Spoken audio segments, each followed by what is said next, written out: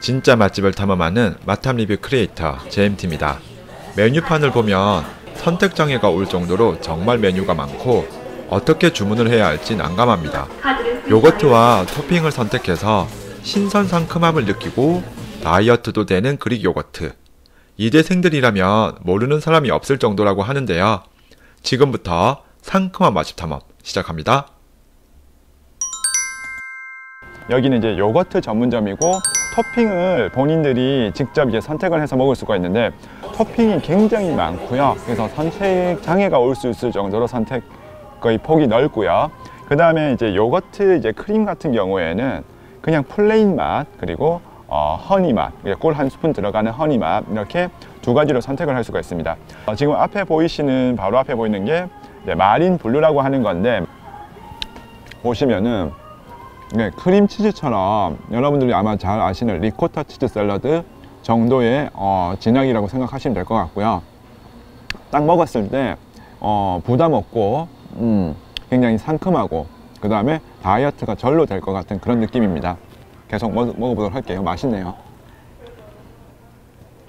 지금 앞에 보이시는 어, 요거트 같은 경우에는 rose gray라는 건데요. 어, 분홍빛도 띠고 이제 회색빛도 띠는데 이 rose gray는 크게 구성이 어떻게 되어 있냐면은 그래놀라, 그 다음에 무화과, 그 다음에 청포도가 안에 들어가 있습니다. 보시면은 음, 토핑이 굉장히 가득 올려져 있어 가지고 조금 흘리, 흘러내리긴 하는데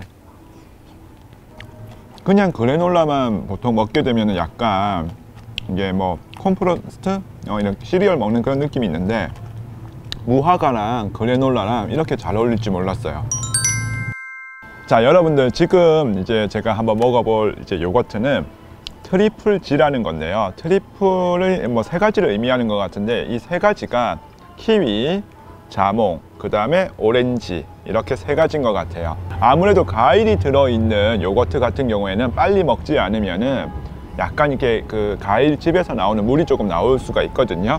그 점 참조하셔야 될 것 같고 과일 있는 요거트는 제일 먼저 먹어 주셔야 될 것 같습니다 한번 먹어 보도록 할게요.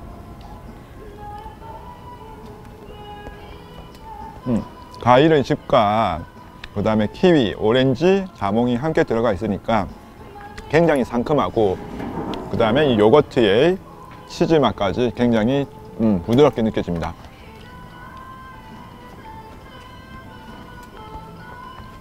음, 이대생들이 왜 좋아하는지 알 것 같네요. 음.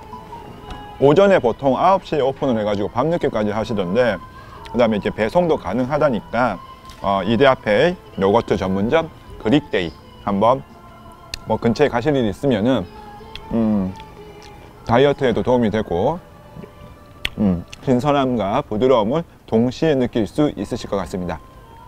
자 오늘 방송 여기까지 하도록 하고요. 저는 다음 어, 맛있는 음식으로 돌아오도록 하겠습니다. 여기까지 할게요 안녕